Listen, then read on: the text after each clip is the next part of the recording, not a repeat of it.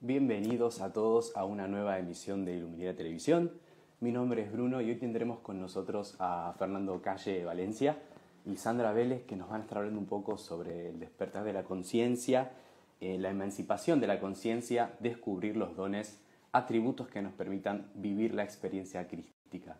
Bueno, como ya saben, en todos nuestros vivos pueden realizarnos preguntas, pueden dejarnos sus preguntas a través de nuestro box de preguntas que es el que está aquí abajo con el simbolito de interrogación.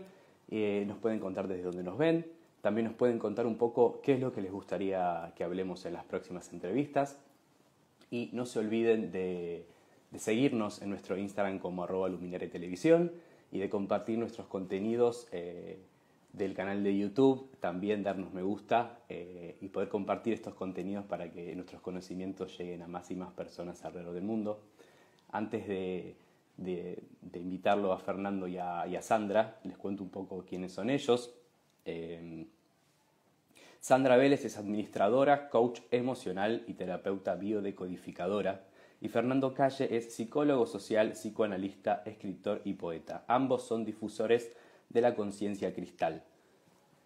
A ver, creo que aquí ya lo tenemos.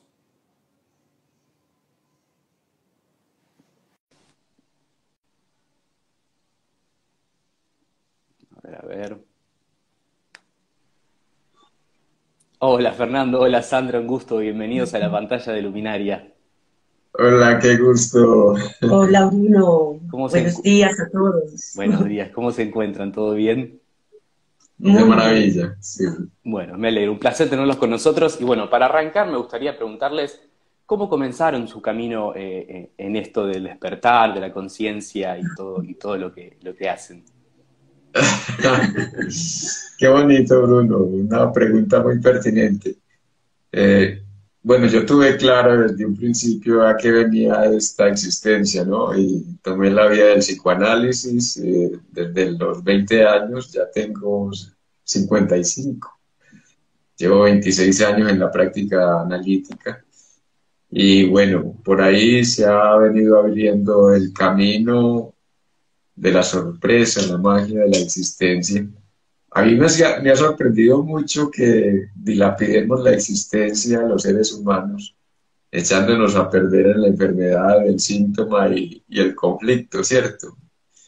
Desde ahí el aporte ha sido enorme, tanto en comprensión para mí como en lo que ha sido el querer irrigar ese deseo de, de que aprendamos a disfrutar la vida.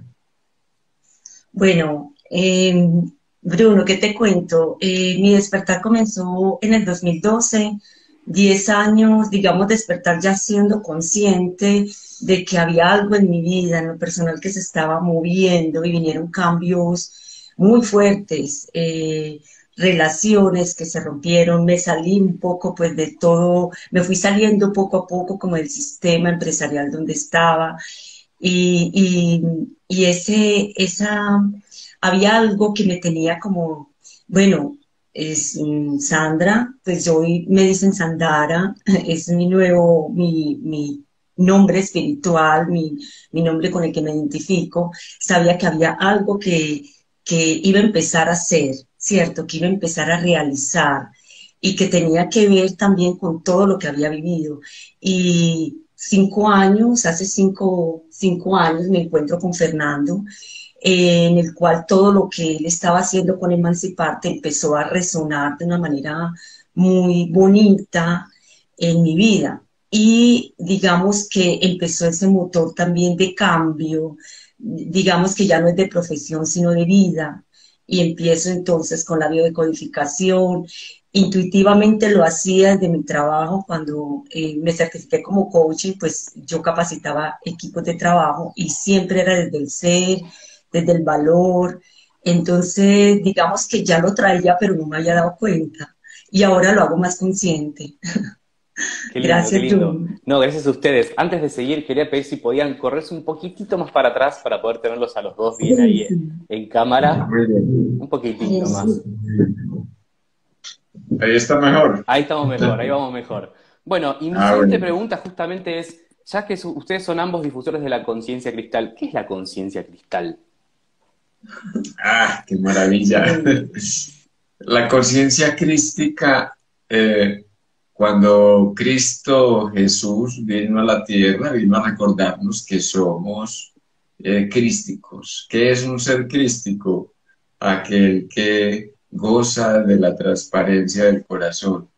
Pero también es crístico aquel que eh, tiene las cualidades o características de la fuente, ¿cierto? Esto es potente porque es como a la vez que participamos de la sensibilidad en sensualidad, en, la magia de la vida, pues también eh, eh, portamos las cualidades de los seres paradisiacos, ¿cierto? ¿Cuáles son los seres paradisiacos? Aquellos que se dice crearon esta realidad. Entonces, desde ahí, recordándole a la gente que somos los mismos creadores. Es hermoso porque esta conciencia cristal lo que nos lleva es a reconocernos en la esencia que somos. Realmente somos un cristal, todos como seres humanos, y nos lleva como a que empecemos a despertar y a, reconocernos en nuestros valores, en nuestros dones y talentos, en saber de que eh, el reconocer no es de afuera, el valor no es de afuera, y eso pues lo, lo, vamos puliendo a medida que nuestras propias experiencias y vivencias en la vida empezamos a encontrarle ese propósito el por qué vivimos tales circunstancias, el para qué la vivimos, y nos vamos dando cuenta que la existencia tiene un sentido y es ahí donde ese cristal interno empieza a florecer y, le encontramos la alegría y el, y el hecho del, del por qué estamos aquí, para qué en nuestra existencia. Qué bien. ¿Cómo es esto del despertar del ser crístico? ¿Cómo, iniciar el despertar de la conciencia? ¿Cómo podemos hacerlo? Sí, eh, yo no relacionaba el psicoanálisis con la vida espiritual. Me parecía como que el psicoanálisis aterrizaba en la vida concreta, emocional del sujeto, en la vida cotidiana. Y entonces lo de la espiritualidad me parecía como algo por allá como místico, religioso, extraño. Y empezaron a suceder una serie de situaciones en mi vida que me conectaron con la cuarta dimensión, el mundo de los muertos, y empecé a sentir la presencia, eh, sobre todo sensitiva, de seres eh, encarnados, desencarnados, sintiéndolos a distancia, y me invadían de una manera terrible. Fueron cuatro años de sufrimiento porque no sabía qué hacer con eso. Hasta que al fin pude aceptar de que eso era parte de la espiritualidad. Y de ahí pues se fueron despertando como sensibilidades en conexión con eh, lo que es más propio y lo más extraño, que también en psicoanálisis lo llevamos ello, ¿cierto? Lo más propio y lo más extraño es aquello que, considerando lo ajeno, me pertenece. Perteneciéndome, tal vez no lo reconozco, ¿cierto? Y ahí se abre la, a la relación con el uno. Todos somos uno. Entonces, miren, la espiritualidad es conectividad. Saber que el árbol es una versión diferente de mí mismo yo soy una versión diferente del perro y en ese sentido entonces vamos espejándonos por la existencia. A mí me ha parecido grandioso porque aparte de esta conexión pues con la espiritualidad, eh, la poesía siempre me llamó la atención. Y es la magia que aquí se conecta con esto de la espiritualidad. A mí me decían, pero es que no hay nada más espiritual que la poesía. Pero yo que tiene de espiritual la poesía. El arte de hacer versos y no, es que se basa fundamentalmente en el sentido mágico de la existencia. De la conexión. La conexión, exacto. Es muy bello porque cuando hablamos del despertar, eh, yo lo percibo, eh, a diferencia de Fernando, yo desde pequeñita siempre percibía seres, eh, otras, otras, como otras dimensiones. Aún así, eh, digamos que no lo hacía tan consciente, o más bien en el miedo no lo quería hacer real, o sea, no lo quería ver como algo real. Y, y, pienso que todo llega en su momento. Entonces, cuando llega como esa, siempre esa pregunta interna y, y, esa protección de querer protegerme porque busqué ayudas para no sentir, para no percibir, me estaba dando cuenta que estaba huyendo de algo que se me había eh, dado o que ya había evolucionado como un don. Entonces me parece hermoso porque digamos que estamos en un momento como humanidad donde muchos están percibiendo y sintiendo más allá de lo que nuestra mente primaria, nuestra mente racional nos lleva a ver, ¿cierto? Entonces nos salen las cosas ya de lo, razon de lo racional y, y, ahí está esa mente abstracta, esa mente eh, que nos conecta con lo divino y nos damos cuenta que como seres humanos estamos en un momento de transición donde lo que yo sentí desde pequeña, ahora muchos lo están sintiendo y que muchas veces cuando llegan a una terapia necesitan ser escuchados para poder conectar y decirle a la persona, no, no te preocupes, no estás... Eh, tú no estás alucinando, tú no estás loca, tranquila, esto es algo normal que, que, está sucediendo en la humanidad porque estamos conectando desde esa parte crística, o sea, en este momento, qué lo bonito, esto nos lo vino a enseñar Cristo eh, y nos vino a avisar de esto que se estaba acercando y hoy lo estamos vivenciando eh, como humanidad y son muchos las personas que están en ese despertar, en ese mundo sutil, en el nahual, como lo decían y nos lo han enseñado los chamanes que han estado muy conectados desde el espíritu.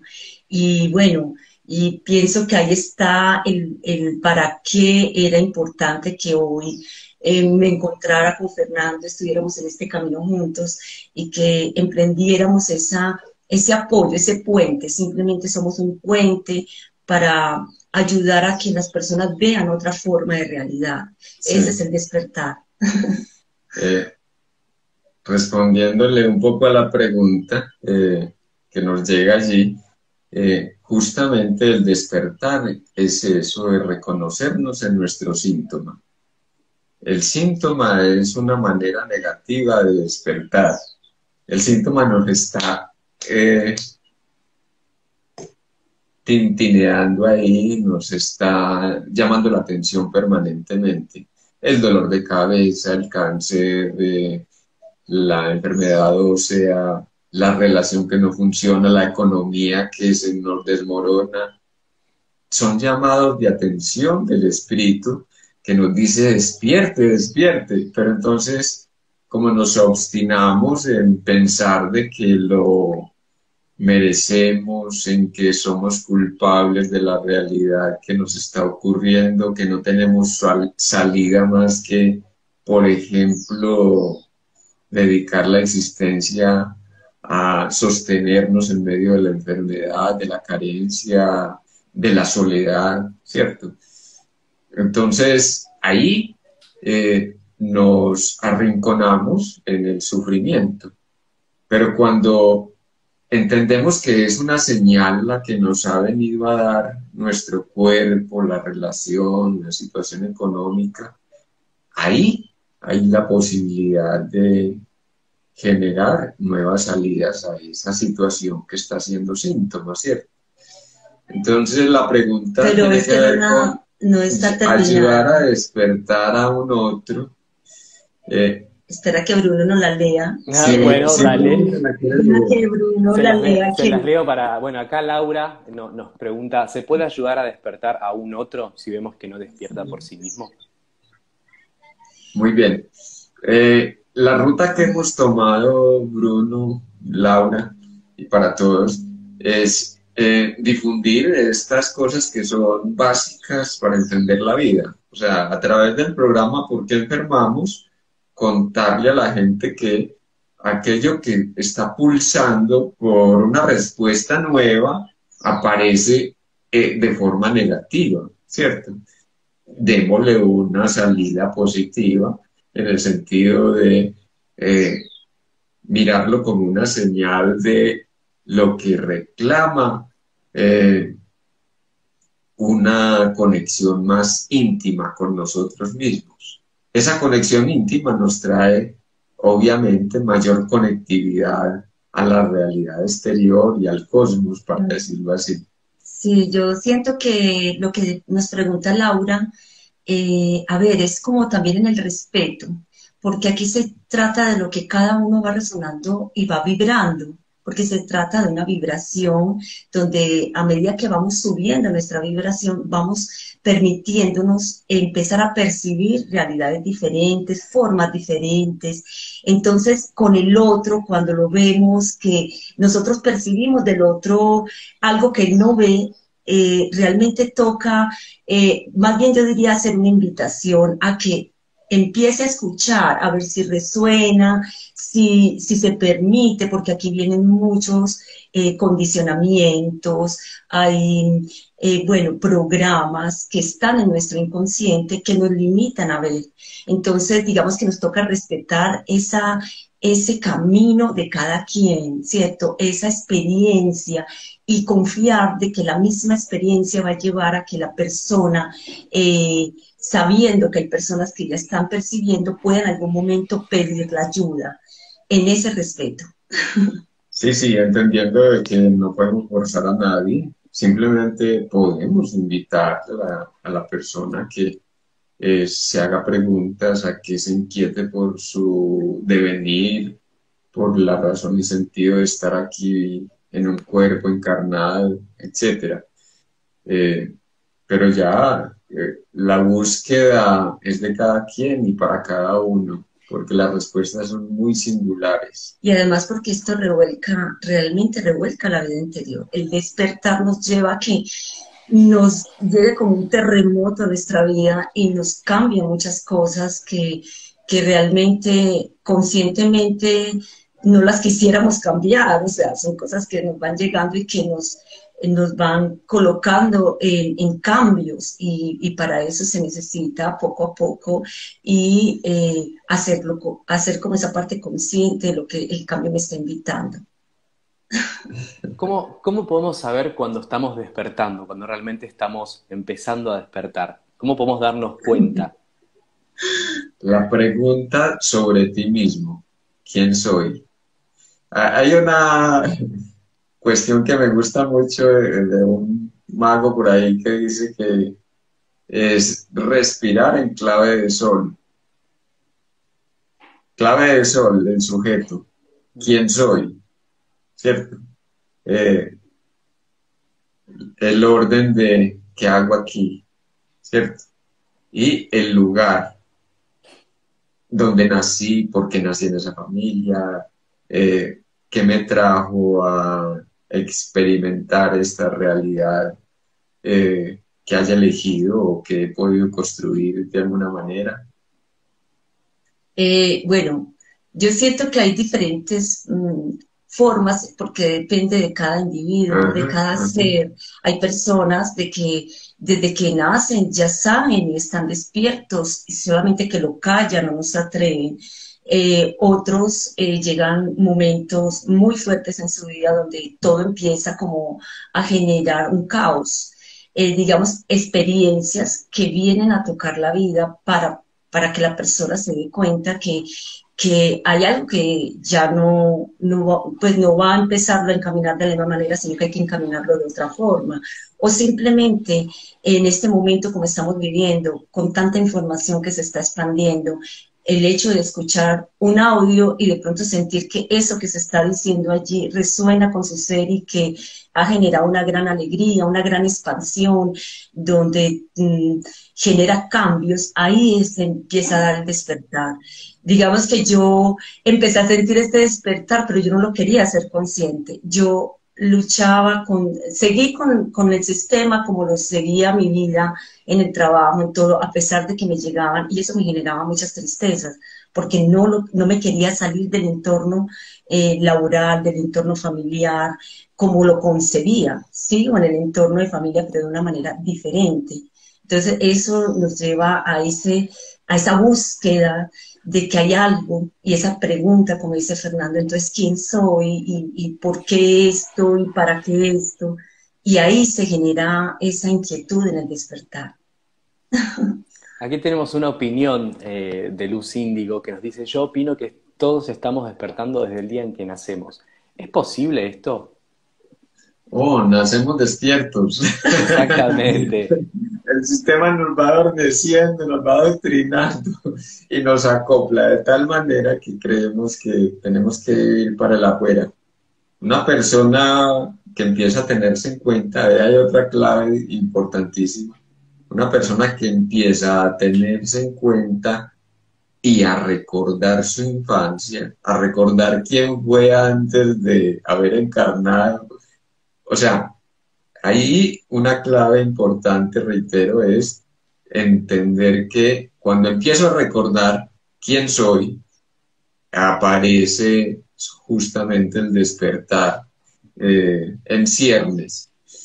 Y lo que le ayudamos a la persona en ese proceso terapéutico también es a recordar quién fue en su ser original antes de embriagarse de realidad, así la llamamos, la realidad exterior, y retornar a la embriaguez de eh, la dicha de estar vivo, la dicha de tener un cuerpo, la dicha de haber encarnado y ya haber pasado la frontera de lo sutil a, lo denso, que ya es justamente eh, vivirse a través de la sensualidad del propio cuerpo, ¿cierto?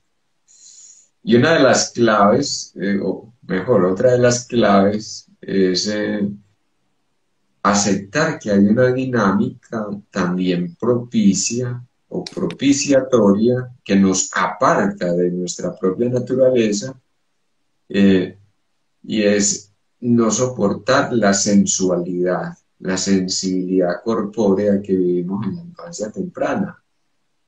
Porque nos transmitieron de que la sensualidad era algo feo, algo dañino, algo perverso, pecaminoso. Entonces a unos niños les acentúan eh, el asunto de la limpieza, a otros niños les acentúan el asunto del orden, a otros les acentúan el asunto de no se toque. A otros les acentúan la condición de la maldición de ser mujer o la maldición de ser hombres, ¿cierto? Y, les van llenando de toda esa... Nos, nos enredamos en creencias, el sistema está lleno de creencias en las cuales nosotros incorporamos y digamos que eso es lo que, ese es el velo que tenemos, ¿cierto? Entonces una de las primeras cosas es empezar a atrevernos a cambiar y esos cambios a veces no son tan sencillos. Eso es lo que, porque esas mismas creencias nos llevan al dolor, al sufrimiento, a, a, a, seguir sosteniendo una realidad, porque así, digamos, ancestralmente, cuando hablo ancestral familiarmente, se ha venido repitiendo. Entonces, cuando llegan personas con, con a terapias con ese dolor inmenso de por qué yo siento esto y nos damos cuenta que a veces el sentir no es ni siquiera propio, es un sentir que llega eh, familiarmente, que llega en eso que dice Fernando, está incorporado en una creencia eh, que la seguimos sosteniendo. Entonces, digamos que ese despertar, ese nuevo cambio que vamos a tener es concebirnos desde una forma diferente y ser co-creadores de lo que cada uno ya siente y valora desde niño venimos con dones y talentos, pero lógicamente nos acoplamos al bienestar de familiar de lo que ha venido tradicionalmente. Entonces ahorita estamos como en ese despertar de mm, recuperar lo que hemos venido cada uno eh, como, como seres a aprender y a, y a, y a co-crear en este planeta Tierra, que es algo hermoso.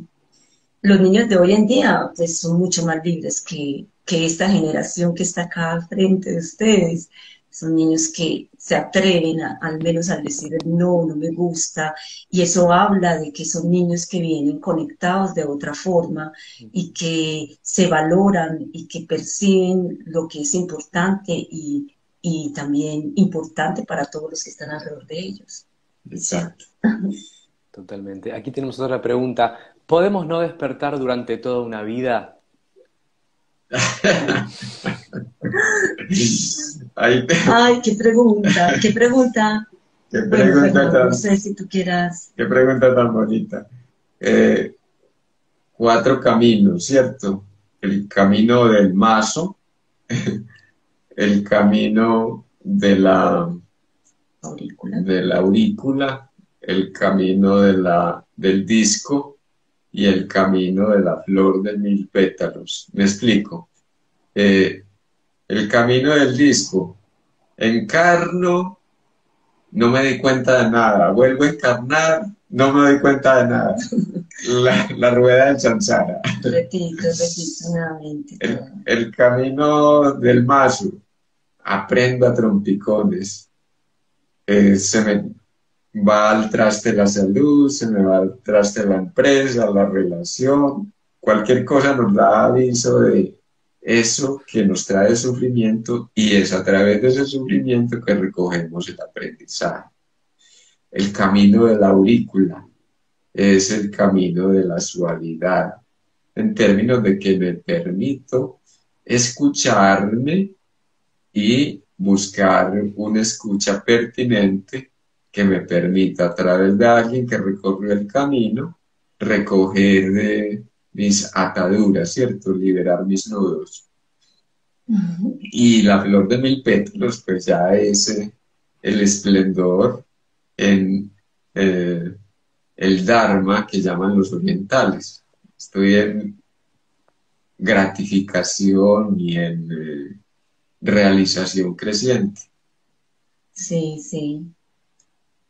La pregunta pues de, a mí me, me, me causó porque pienso que también ahí está el libre albedrío y también está la parte del alma. Hay almas que vienen a experimentar, digamos, todo lo que afuera, eh, porque en esta era de, espiritualidad todos estamos llamados.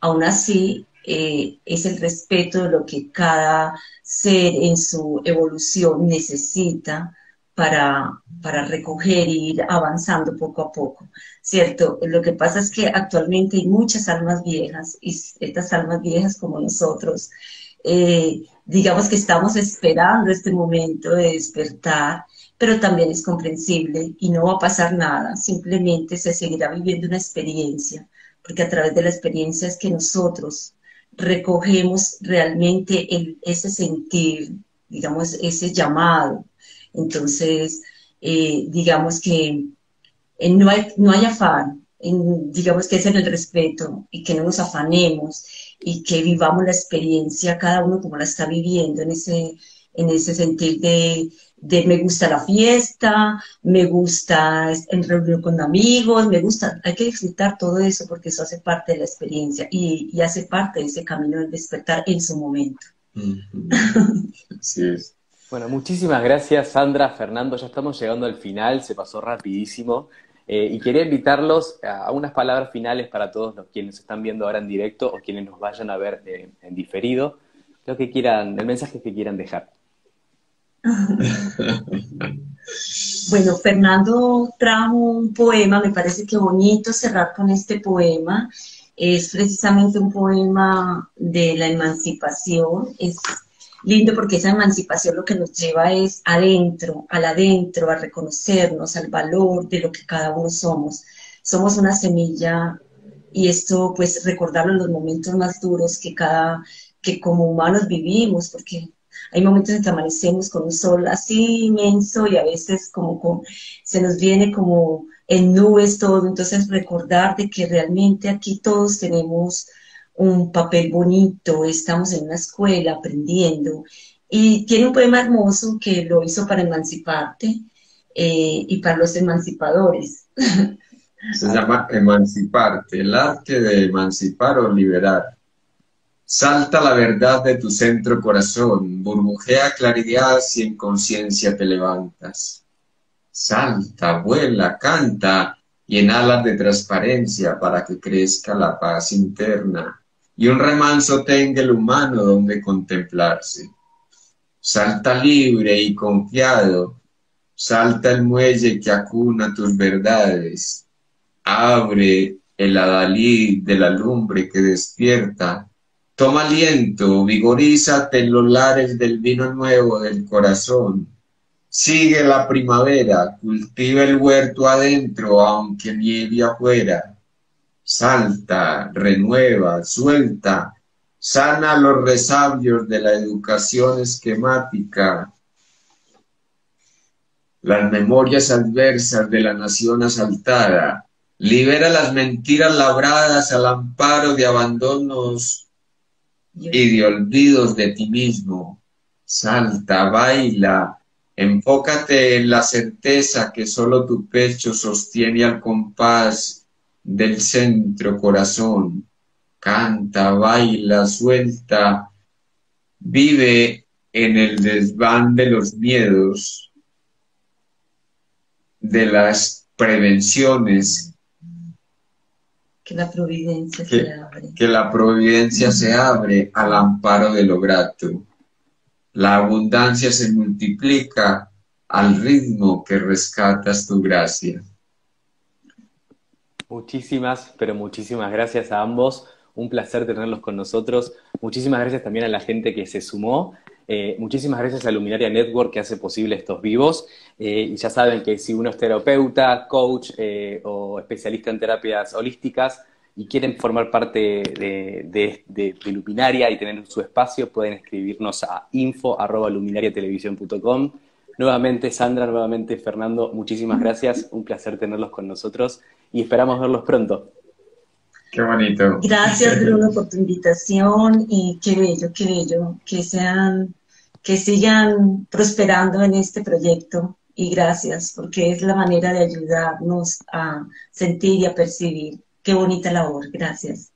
Muchísimas gracias, chicos. Muchísimas gracias y nos estamos viendo la próxima. Muchas gracias. Muchísimas gracias. Hasta luego a todos y nos vemos en la próxima emisión de Luminaria Televisión. Gracias.